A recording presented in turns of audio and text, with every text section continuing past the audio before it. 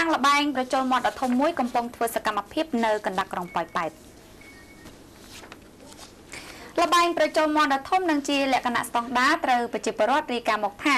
បាននឹងកំពុងដំណើរការយ៉ាងរំភើយនៅកណ្ដាលក្រុងប៉ោយប៉ែតដែលមិនឆ្ងាយប៉ុន្មានពីរង្វង់មូលច្រកទ្វារអន្តរជាតិប៉ោយប៉ែតក្បែរផ្សារមង្គលក្នុងក្រុងប៉ោយប៉ែត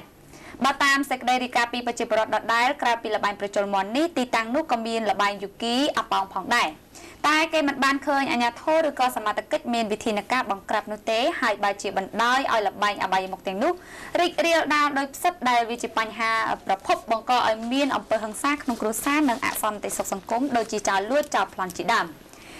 យោងតាតាមប្រភពច្បាស់ការមួយបានឲ្យដឹងថាទីតាំងលបែងប្រជុលមន់ខាងលើគឺមានឈ្មោះរតនាជាអ្នកមើលការខុសត្រូវព្រោះគឺជាអ្នកមានលុយមានអំណាចប្រចាំតំបន់ច្រកទ្វារអន្តរជាតិប៉ោយប៉ែត